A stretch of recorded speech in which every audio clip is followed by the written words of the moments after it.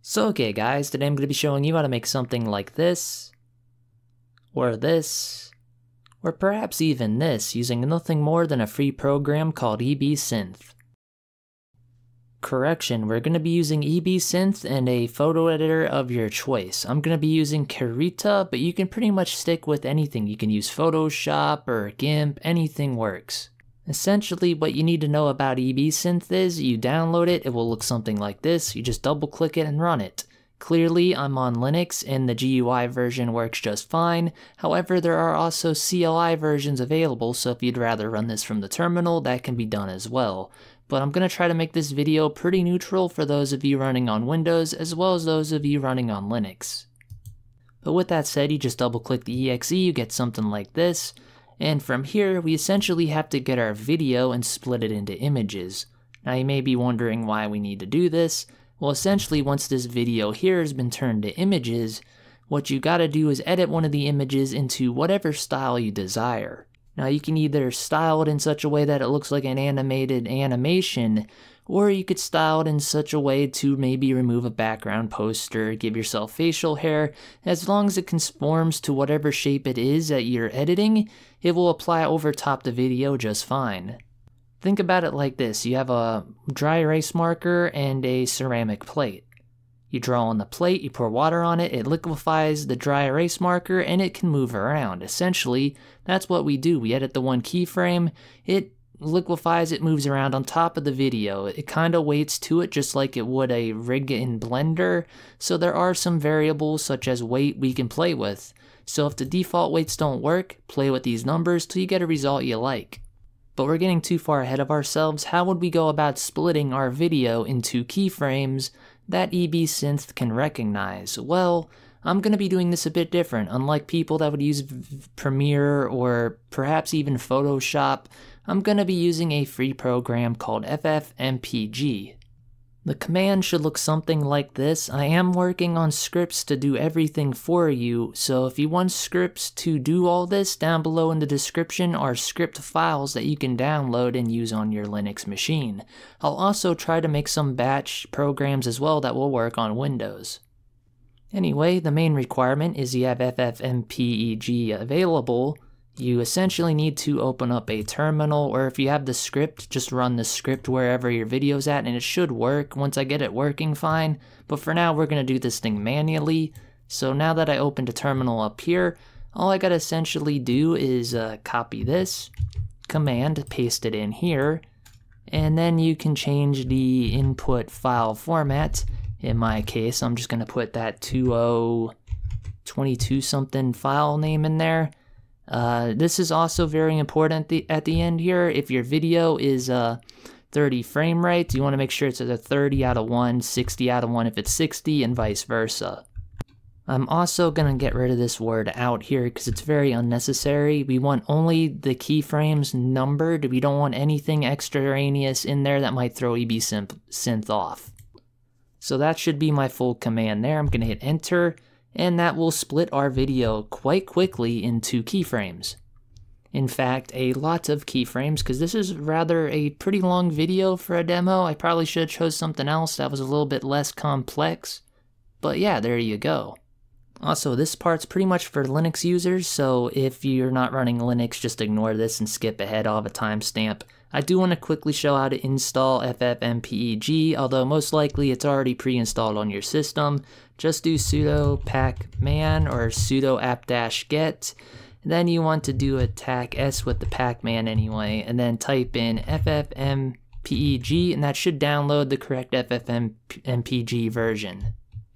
But yeah, now that we got our video into keyframes, I'm gonna do some uh, video editing magic here to make this look a little bit more seamless, as well as not to drag on the video. I've already took a keyframe, I believe it's like keyframe 58, so I'm gonna go back. As you can see, there's our video, it's in this video folder, all split up into keyframes. What you need to do now is make a folder called key. This will be the edited keyframe and you want to copy that keyframe from the video in here that you wish to edit. In this case, I'm going to copy this, then go in here, paste it in here, and then from there we can go into Photoshop and edit it. As you can see, I just saved on top of it, And since these are the same keyframes, believe it or not, I think, well, close enough, all I essentially did was uh, draw on top of it, save it over top the original keyframe in here, and that was basically it.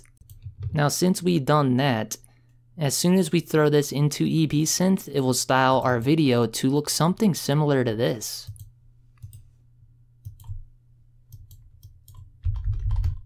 I just had to rename the name there because I realized I did these exported without the out name in front of it. So yeah, that's very important. Make sure your keyframe name still matches the keyframe name in the video folder. Another thing to note, if you have a scene with a lot of moving action, you may need to do more than one keyframe. In this particular video, I think I needed to do two. However, just for example reasons, I'm gonna only do it with one. Alright, so now that we have our video and key folders here, all you gotta do is just drag your video folder into EBSynth, right into the video marking spot. Then you wanna take your key folder, drag it into EBSynth, right into the keyframe slot. If done correctly, it should already, already make a project directory. It should change the keyframe location and the video location, and you should have new options down below. So what you see here is essentially where we're going to be saving our file or our output to, and we're also going to have a slightly simplified timeline. So if you only wanted to modify your video scene at keyframe 58, you can edit your beginning clip all the way up to that keyframe clip and start from there. Same here, if you didn't want the video to be edited all the way to the end, you can easily adjust the stopping point. Anyway, since I want EB Synth to run through basically the whole video, I'm to leave the timeline as is. This should be fine and it should just render everything a-okay. However, if you have some problems, you can adjust the weight to see if that helps. You can also change this up to utilize masking as well. However, what I like to do the most when it comes to this program is export my uh, files into PNG format. That can be easily done by just changing the output format here to PNG, for instance. Then you can make a transparency keyframe, and then your whole video can be real transparent. But enough about that, I'm getting off topic again. If you have everything done correctly, it should look something like this, and you could just hit synth that will begin spitting out our new keyframes into a new folder. Typically this folder will be named after the keyframe name, however I renamed mine to rendered, so if I go into the rendered folder, you can see here it is now rendering our project. I'm going to manually hit refresh so you can see that this is indeed spitting out images. As you can see there are now two. It might take it a little bit longer to run because I believe this program is quite CPU dependent or GPU dependent. I can't quite recall. And I'm sure recording is also slowing this down. But as you can see, it's doing rather a particularly good job considering I don't think this uh, particular project was designed to work with one keyframe. Now depending on whatever it is you shoot, some of these glitches and things that might come up from EBSynth might be exactly what you're looking for. Again, if you have too many problems, try playing around with the weight, or perhaps editing a keyframe that's in that problematic area, then re-rendering it and mixing the two projects together. Another thing to note, EbSynth is not magic. I'll have an example up on screen. If your scene is dark and you try to animate it, it will lose tracking, much like having a tracking suit on rigging something for a video game, you want those tracking points to be visible, so the more light you have when filming will help this process out a lot. But yeah guys, I didn't even scratch the surface when it came to things you can do with this program. If you had a subject that had a shirt on that was very inappropriate or something, you can go and completely replace the shirt out if you wished. You can make your face look completely different. I'm not saying this is a deep faking program. Your face shape still has to match, but if your face is very similar to somebody else's and you do face swapping, then put a face swapped keyframe in, you can essentially look completely different. But yeah, this video isn't quite done yet. You may be wondering, now that we got the keyframes, how do we put those back into, well, a video? Well, that's simple enough. I do have a script here. However, this same script will work on Windows within command line, so I'll have a batch file hopefully as well. I'm going to quickly open it up and show you guys what's in this SH file. Essentially, we're telling FFmpeg to recompile these images back into a 30 eh, frame rate. And from here, we wanted to grab pings as our output format to merge back into a MP4. As it stands right now, this script does work, so I'm to quickly open up this folder and have it preemptively typed for when this is done rendering out. But yeah, that's the command you use if you're following along on Linux and you downloaded my script file. You just type that in, and essentially, once this is all rendered and I hit enter, it will automatically recombine it into an, a file called out.mp4. But yeah, I'm gonna wait and I'll get back with you guys when this thing is done. So alright guys, now that that is done rendering the PNG files, let's now combine those PNGs back into a video file. As you can see, that took no time at all compared to rendering the project, However, I do want to specify one thing because I forgot about it and I thought about it while this was rendering. You can output in two different formats, so if you didn't want to ping, just change that to a JPEG extension.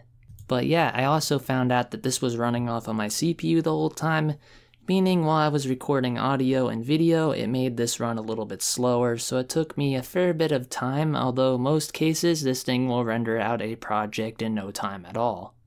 Anyway, just as a proof of concept, now that we recombined all these pings into a MP4, it will spit out the MP4 in the directory of the ping, so I'm going to cut that and move it here. And now we're going to play this. There's one thing to note, audio does not transfer over, obviously, because these are just the keyframes. So if you wanted audio, you'll have to cut out the audio from the original clip, and then put it under the track of this video file. But yeah, I am quite surprised how well this turned out with just one edited keyframe. Feel free to edit more keyframes in your video. EB Synth should automatically identify them and pick up on it. And also, if you do get any errors anywhere you want, instead of having to re-render the whole project, just delete the problem areas in your uh, frames here, I should say, or let me think about how to phrase this. Go to your rendered folder, just delete the keyframes, that are messed up, edit the keyframe where it starts to mess up to be different, then re-render it from said messed up keyframe. Let's say we mess up around 84, this looks pretty awful, we want to fix that. So we could just delete everything from 84 all the way up to the end of our video clip or wherever it's messed up, change this to the starting keyframe, we want it to be 84, starting keyframe 84, all the way to the end.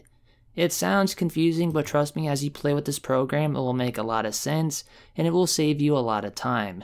In fact, a lot of animators use this program to make quick and dirty, really fast animations.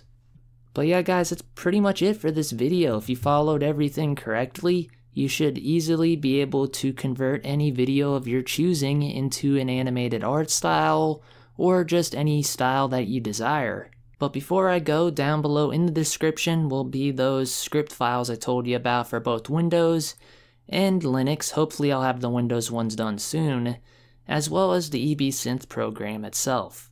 I'll also archive the program file, that way if this site ever goes offline for whatever reason, I'll have the executable readily available still for those of you that want it.